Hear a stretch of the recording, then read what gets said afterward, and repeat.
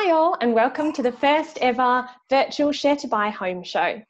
Today, our topic is why we think right now is the right time to buy. The session will be run by myself, my colleague Lawrence, and guest speaker Helen from Clark Marshall Associates.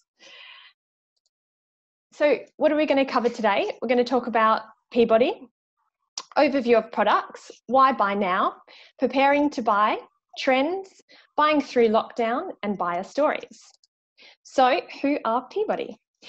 Peabody is a housing provider who have been around for over 150 years in, um, and operating in London and the southeast. We manage over 66,000 homes and deliver service to 133 residents. We deliver 3,300 homes each year as a minimum. And what makes Peabody special is we plough profits, plough our profits back into affordable housing and local communities. We make customers we, we make sure customers are looked after during and after their purchase of their home. So for all those lucky people that are logged on today uh, we're offering 1500 worth of enticing gifts uh, if you purchase your dream home in the next month or before the 28th of august for more information on this browse our peabody virtual booth and book a private chat with our friendly team today Okay, I'm here to tell you a bit more about our housing products and buying products. So first of all, what is shared ownership? Well, shared ownership is known as part buy, part rent also, and it's government-backed affordable scheme to help you get your foot on the property ladder.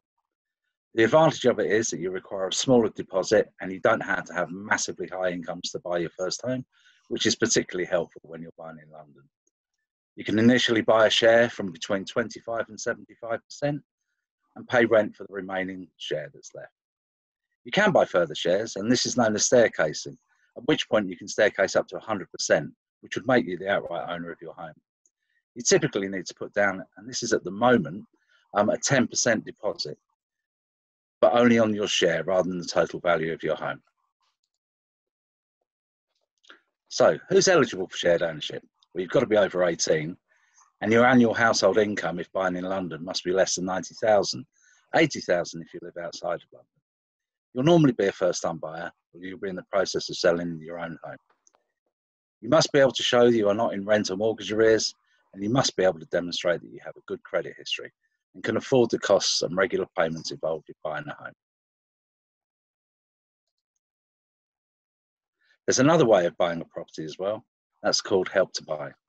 Now, Help to Buy is a scheme backed by the government and it's an initiative designed to help people get on the property ladder who may not have a large deposit. So, in some ways, similar to shared ownership. You'll get an equity loan from the government of up to 40% of the property purchase price. That's inside London. If you live outside London, they'll loan you up to 20% of the property price. And Help to Buy is only available on new build homes up to the value of 600,000 in London and up to 400,000 outside of London. Typically, this is an example of how Help to Buy works within London. So the property value is 400,000. The deposit you'll have to find is 5% of that, which is 20,000. The government's 40% loan will be 160,000 and you'll need to find a mortgage of 220,000 to buy. That's 55% of the value of the property. You'll have to start paying back the government loan in five years. Um, and it's a very low interest rate at the moment. If you want to know a bit more than that, then I suggest that you speak to one of our IFAs, and Clark Marshall will probably be a good place to start. Outside London, very much the same. Example house is worth 200,000, again a 5% deposit. Remember, outside of London, they'll only lend you 20%. So you'd be looking at 10k as your deposit, 40k is the government loan, and you'd be looking at a 75% mortgage from, from a mortgage lender of 150,000. But why buy now? Well, there are many obvious things, and quite a lot of it's been in the news recently. Um, we're having a bit of a stamp duty holiday at the moment. The government said from the 8th of July this year that nobody would have to pay stamp duty on purchases until the 31st of March 2021. This is fantastic news. It means that buying a property has suddenly become a lot more affordable up, front, up front. Banks and lenders are offering incredibly low interest rates at the moment. because some of them are because of lockdown are looking at slightly larger deposits if you go ahead and purchase but it's still a very attractive time to buy and it's the perfect time to consider what you would want from your home following lockdown you might be looking for outdoor space work life balance suitable space for working from home so come and look at the homes available across london with peabody in the southeast um, because we have got many home ownership options available Stamp duty holiday, basically stamp duty is stamp duty land tax. It's a tax payable on all property transactions. It's usually the largest upfront cost you associate, that you associate with buying a house. So previously, up until July the 8th, with the first 125,000 of any property you were buying, there was no stamp duty. And then from over 125 to 250,000, you were paying 2%. Above 250,000 to 925,000, you were paying 5% and from 925,000 to 1.5 million, those of you that are lucky enough to buy at that level, you were paying 10% stamp duty. The new rates quite clearly are beneficial to most first-time buyers. so for any purchase up to 500,000, you will not be paying any stamp duty at all. Um, for over 500,000 to 925, you'd be paying 5%. From 925 to 1.5 million, 10% for the really lucky amongst you, above 1.5 million, you'll be paying 12% stamp duty on any purchase. so, if you're buying at 350,000, you'll pay nothing. So you actually save yourself 7,500 at the beginning of the purchase. If you're paying 600,000, stamp duty now is 5,000 pounds. That's 5% on the 100,000 above 500,000 that you're spending. So you'll be saving yourself £15,000 on the purchase. And if you're buying it over 1 million, guess what? You'll be saving 15,000 again. I'm here to give you some tips on how to prepare for buying your first home. So the first thing, saving hmm. your when you buy your home, whether it be shared ownership, help to buy or outright sale, you will do so with a combination of a mortgage and a deposit. Now this deposit can come from various sources. It could be your own personal savings that you've built up over a period of time. You will need to be able to produce at least three month history of your savings to show how you achieved the total. Sometimes lenders and history. When saving, make sure the account is in your name and do not opt to pass the money to a member of your family to save on your behalf. Once you give the funds to them, the money legally is no longer yours and you will not therefore be counted as your own savings. Do not save the money in accounts in the name of your children. Again, technically, you have given the money to them, and as they are not adults, they may not be able, they are not able to give this back to you. You may inherit monies which you use as your deposit. You will need to evidence the source of these funds, so make sure you keep any legal correspondence that confirms the amount of the inheritance and the date you received it. You can then produce these with your bank statement. Gifted deposits.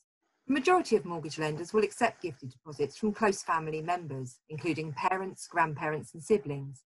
The person providing you with the gift will have to sign a letter confirming they are gifting you the funds and will not take a financial interest in the property. If your deposit is coming from outside of the EU, from either your own savings or a gift, additional checks will be required to comply with UK money laundering. So be prepared to find, provide further documents to provide, prove, prove the original source. Now, checking your credit report. Your credit report contains information about any credit cards, loans, or finance agreements that you have and shows a history of how you maintain these.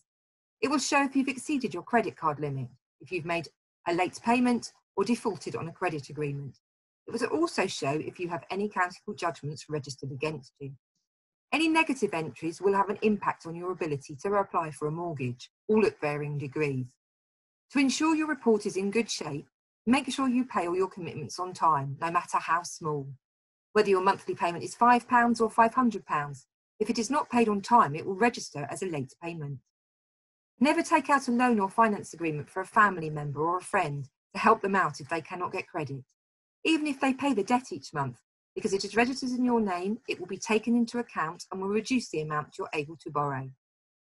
Lenders don't like to see payday loans being used, so please don't apply for any of these. It's a good idea as well to close any accounts that you do not intend to use in the future.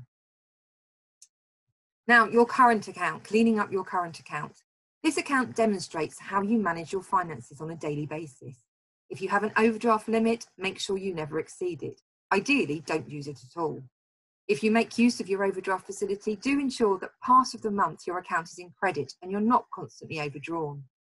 Make sure the address on your bank statement is where you actually live and is not an old address or your parents' address. Make sure your name is spelt correctly. And despite the rumours, lenders are not at all concerned about the amount you spend on Deliveroo, but they are concerned if they see high numbers of gambling transactions on your statements. Now, here's a, a, quick fix. Make sure you're on the electoral roll. Checking the electoral roll is a way for mortgage lenders to establish and evidence your address history. When applying for a mortgage, you will need to evidence your address history for the last three years. Each time you move, make sure you re register at your new address. And if you're not registered currently, then make that your priority. Ensuring your documents are in order. Now, this is something you can check now and rectify immediately. Do not wait until you're ready to buy a home. Check your documents now and make any necessary changes today. You will need to prove your identity when applying for your mortgage. So check your passport and your driving licence. They must show accurate information and be in date and not expired. A photo driving licence must show your current address. Ensure all your bank accounts show your statement, your name exactly as on your ID documents. If there are middle names on your passport, these should be on all your documents. Use your full names on official documents. Don't choose abbreviations. Variations of name on different pieces of paperwork cause concern for the mortgage lenders as they could be a sign of potential fraud. Make sure your employer has your current address. So if this shows on your payslip and P60, it matches your rest of your documents. As with your bank statements, make sure your name on your payslip is the same format as your name on your ID document. Now, understanding hidden costs. This is just to remind you that when planning your first purchase, make sure you save more than the deposit monies. After all, you will incur other costs, such as legal fees, stamp duty, valuations, survey fees, mortgage fees, and furniture for your new home and van hire and removals. So then if we move on to the next one, and we can look at the benefits of using a mortgage expert. Now, the role of a broker is so much more than finding you the best mortgage deal. They are there to explain the process to you, assist you right through to the day that you get the keys, and indeed beyond. When you want to review your mortgage or move property as your life progresses, they will still be there to continue to help you. When you visit a lender direct, the majority can now only provide you with information so that you can make an informed choice. A mortgage broker can talk to you, discuss all options, advise you, and make a recommendation for the mortgage that is most appropriate for you. All mortgage lenders have different criteria covering different points. So this is all about understanding the different types of mortgages. This is whether they accept shared ownership or help to buy, how they calculate affordability and how work out how much they will lend you, what history they require for your employment or your self-employment, what types of deposit they accept, what property they accept. Some lenders, for example, will restrict the number of stories in a building. By using a mortgage broker, they will be able to consider all lenders and recommend the one that best suits your needs and that of the property you're buying. So assessing your affordability, all lenders have different ways in calculating how much they are prepared to lend you. The factors that they take into account include your age, your income, your debt, your deposit, and the number of financial dependents. Your mortgage broker will be able to advise which lenders enable you to maximise your ability to borrow while still ensuring you are comfortable with the monthly payments. Be aware of all the fees that you will pay. Now, some mortgages do come with arrangement fees. These can commonly vary between £299 and £1,499 and can indeed be higher. The benefits of paying these fees is that you usually obtain a lower interest rate in return. However, it is not always the most cost effective option and can work out to be more expensive overall. The lowest rate is not always the cheapest option. Your broker can make these calculations to ensure that they only recommend a rate with a fee if it is going to save you money. When you purchase with a mortgage, the lender will always carry out a mortgage valuation to ensure they're happy to lend on that particular property and that they agree it's worth the money. This may involve a visit to the property or it may be automated. Many lenders now provide these for free, however, some will make a charge. If you are not buying a new property, then it is advisable to obtain a more detailed survey on the property to ensure there are no potential problems that could cost you money after completion. Your broker will be able to advise you and assist you in finding a suitably qualified surveyor to do this. Now, learning about the different rates, mortgages can be on fixed rates, tracker rates, discounted rates, they can be offset, they can repayment, they can be interest only. This industry is full of jargon. Your mortgage broker will be able to explain the differences, advise you of all the options, and by talking to you, able to recommend the one that will work the best for you. And finally, on this slide, how to understand how to choose a lender. There are many mortgages in the UK, when buying your first home or even your second or third, it's not feasible to have a meeting with everyone. Even if you could, by the time this had taken place, the likelihood is that many of the rates discussed would have changed. In addition, brokers sometimes have access to exclusive deals that are not even offered directly by the lender. Having a meeting with a broker has never been easier. Video interviews have made this process far more flexible. Your broker will be able to consider many lenders in one go and establish which is right for you and your broker will offer you a direct contact for the whole transaction and be able to be available for hours longer than nine to five. If you're purchasing via a scheme such as shared ownership, if you use a specialist broker, they will ensure the lender chosen is accepted by the scheme and the housing association, as well as ensuring that they meet your requirements. How can they do this? Well, by all the points I've covered, by understanding your personal circumstances, your full financial position, and the property you are considering, they will be able to recommend how you proceed and with which lender. Buying a property can be stressful, but if you plan ahead and use an expert, much of that stress can be removed. That's great. Thank you so much, Helen. That was really useful information. Um, great. So moving on. This allows me to. There we go. Um, great. So trends. Um, so during this very unusual time, um, Rightmove have done some studies and they actually claim that 39% of their buyers have changed their priorities when it comes to house hunting. The portal has reported an increase of demand for gardens, larger homes, access to parks and more rural locations. And this was based on a survey of 4,000 home movers and the Royal Institution of Chartered Surveyors asked agents to predict the desirability of property features over the next two years. And the survey showed that 81% noted an increased demand for properties with garden or balconies, plus 74% feel that there will be a shift towards homes near green spaces. 58% feel the demand for properties in higher urban areas will fall, and the a majority expect no change in desirability for homes near transport hubs. So, yeah, during this unusual time, our teams have been working hard um, and we've booked um, over the time 1,549 online viewings. Um, and, we've and from that, we've taken 233 reservations as we have over 700 homes available across 28 uh, 28 developments. We're also offering £99 reservation fee, fully refundable after until physical viewings. Um, we're also making some of our show homes uh, more accessible um, and more safe during these times. So we're implementing safety measures, including sanitised stations, providing masks and floor markers to help keep social distancing. Um, so customers will have the option to view physically or virtually based on their needs. So during lockdown, we reached out to some of our buyers to hear their experiences. Um, so this is Owen. He uh, he's purchased a flat at the gallery in Camberwell, and during lockdown, he's made his way through an Ottolenghi cookbook in the evenings.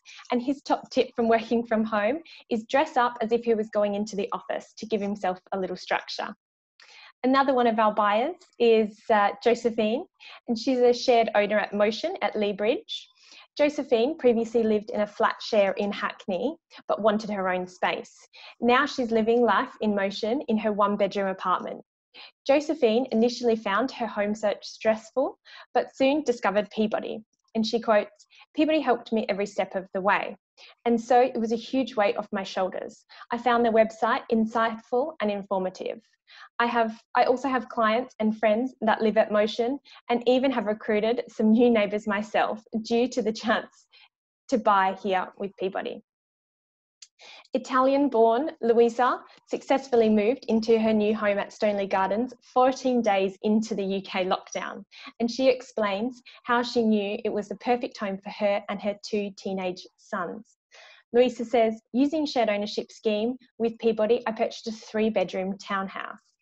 I have seen many other properties before viewing this house. The moment I set foot inside, I knew it was the one and put my offer in on the same day. The most valuable space at home during lockdown has been the kitchen and the living room. Being Italian, we love cooking. I feel privileged after years of sacrifice to live in this beautiful, comfortable, cozy, and homely house. And finally, meet Rita. Oh, there she is, who bought at Colindale Gardens. She explains how her life has been since UK lockdown and says, I'm a very positive person, and you have to keep a positive attitude at uncertain times like this. I received the keys to my property the same weekend as lockdown was announced. So I was very lucky. I'm working on my new home at the moment and I actually am really enjoying it. I have been able to decorate already, something I may not have been able to do so quickly otherwise. Rita's home buying journey actually began at one of the London home shows where she spoke to our sales team. So that's all from us today. Thank you so much for listening. To stay up to date with all our latest properties, please visit peabodysales.co.uk or follow us on Instagram, uh, Facebook, or Twitter, or join us in our virtual booth uh, today. Thank you.